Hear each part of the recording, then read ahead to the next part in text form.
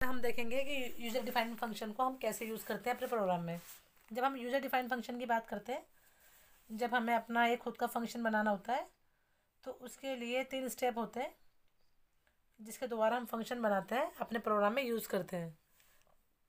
First है आपका,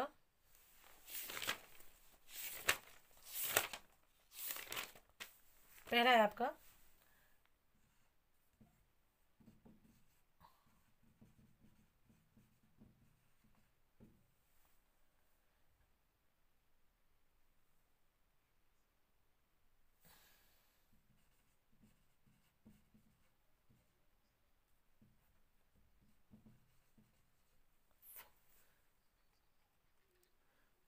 तो बेटा मैंने यहाँ पर लिख दिए पहला होता है आपका फ़ंक्शन प्रोटोटाइप सेकंड होता है आपका फ़ंक्शन डेफिनेशन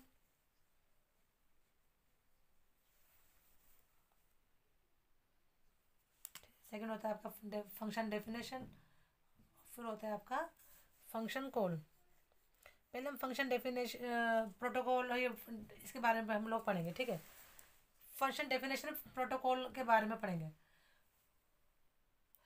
ये तीन स्टेप होते हैं आपके, एक यूज़र डिफाइंड फ़ंक्शन को बनाकर, ठीक है? यूज़र डिफाइंड फ़ंक्शन तो सबसे पहले आता है आपका फ़ंक्शन जब हम सी प्लस प्लस में यूज़र डिफाइंड फ़ंक्शन बनाना चाहते हैं, यानी कि यूज़ करना चाहते हैं तो सबसे पहले हमें एक प्रोटोटाइप देना होता है कि फ़ंक्शन की क्या रिटर्न करेगा।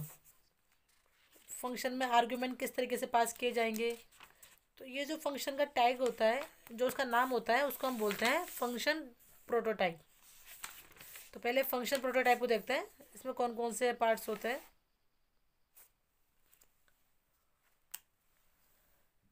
फ़ंक्शन प्रोटोटाइप में आपके चार पार्ट्स होते हैं। पहला होता है, सबसे पहला देना होता है फ़ंक्शन टाइप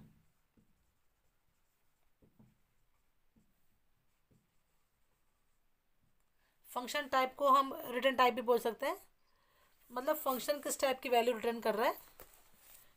ये उसको बताता है। फ़ंक्शन रिटर्न टाइप से मतलब है कि फ़ंक्शन जो आपका होता है यूज़र डिफाइंड फ़ंक्शन कोई एक वैल्यू रिटर्न कर सकता है इंटीजर फ्लोट या और भी प्रकार का तो इस तरीके से रिटर्न टाइप फ़ंक्शन हो जाता है, क्योंकि ये फ़ंक्शन किस टाइप की वैल्यू रिटर्न करने वाला है, इसे हम फ़ंक्शन टाइप बोल सकते हैं। दूसरा होता है आपका, यहाँ पे फ़ंक्शन नेम फ़ंक्शन बेटा इसको मतलब लिख देती हूँ। सेकंड होता है आपका फ़ंक्शन नेम कि आपने फ़ंक्शन को क्या नाम दिया है? ये भी ज़रूरी है। तो पहले तो आपका ये टाइप हो गया फ़ंक्शन टाइप किस टाइप का फ़ंक्शन बना रहे हैं? ठीक है यानी कि किस प्रकार की उसमें वैल्यू वैल्यू आप रिटर्न कराना चाह रहे हैं।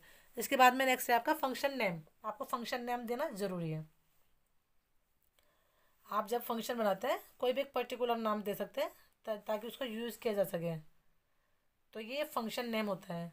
आगे थर्ड होते हैं आपके पैरामीटर लिस्ट।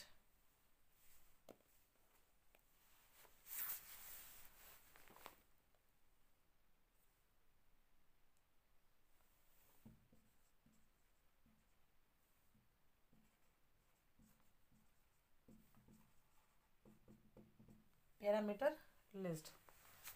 और फोर्थ है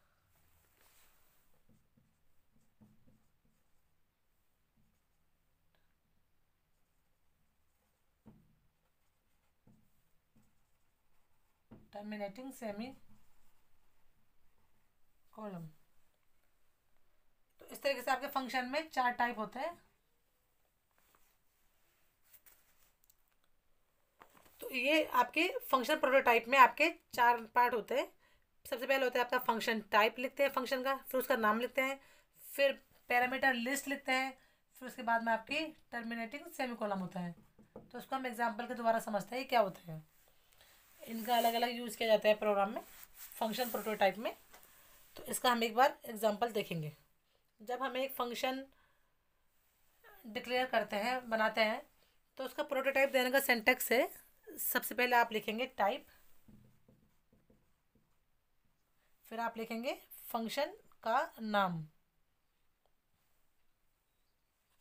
सबसे पहले टाइप फिर होता है आपका फ़ंक्शन का नाम। शॉर्ट में लिख दो बेटा? फिर उसको बोलेंगे हम पैरामीटर लिस्ट और उसको बोलते हैं हम टर्मिनेटिंग सेमिकॉलन तो जब हम प्रोग्राम में फ़ंक्शन को यूज़ करने वाले होते हैं डिफाइन करने वाले होते हैं तो उससे पहले हमें फ़ंक्शन को बनाना होता है डिक्लेयर करना होता है। इस तरीके से हम फ़ंक्शन का प्रोटोटाइप देखते हैं।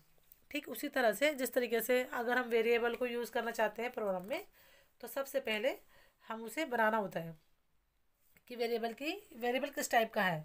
कैरेक्टर है फॉलोट फ्लोट है इंटीजर है। है ना? किस टाइप का आपका क्या वो है? वेरिएबल तो उस तरीके से जैसे हम वेरिएबल यूज़ करने से पहले बनाते हैं, वैसे फ़ंक्शन यूज़ करने से पहले हमें बनाना होता है। इसे हम फ़ंक्शन प्रोटोटाइप कहते हैं।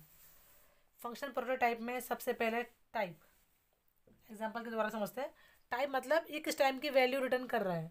जब कॉल किया जाएगा प्रोग्राम को तो इस फ़ंक्शन को जब प्रोग्राम में कॉल किया जाएगा तो ये प्रोग्राम को किस टाइप की वैल्यू रिटर्न करवा रहा है? उसके लिए टाइप लिखा होता है। जैसे मान लीजिए मैं जोड़ का एक एडिशन का प्रोग्राम बना रही हूँ, जो कि दो वैल्यू ऐड कर रहेगा और उसका जो रिज़ल्ट है वो रिटर्न करेगा। रिज़ल्ट अगर वो इंटीजर है तो यहाँ पर मैं बनाते समूह करूँगी। यहाँ मैं